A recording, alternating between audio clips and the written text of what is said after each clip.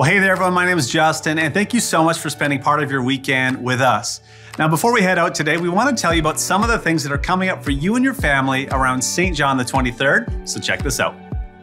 Helping Hands of St. Louis and St. John 23rd St. Vincent de Paul Society are having a Coats and More drive, which is happening today after all Masses. Please check out the bulletin for more information, and we want to thank you in advance for helping those in need. Now, if you've been coming to St. John the 23rd and you're interested in learning more about the parish, or maybe you want to know how to register as a member of the parish, then simply plan to join us for the next connection point, which will take place at 7 p.m. Thursday, October the 12th.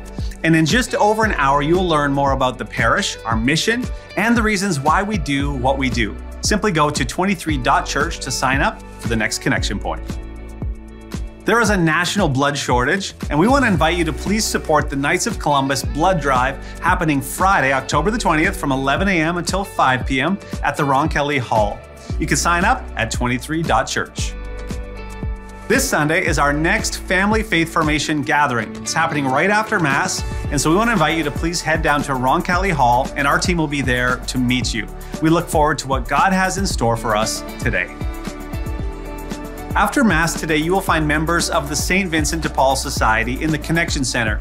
They will be accepting your donations to help them in their ministry. Thank you for your ongoing generous response.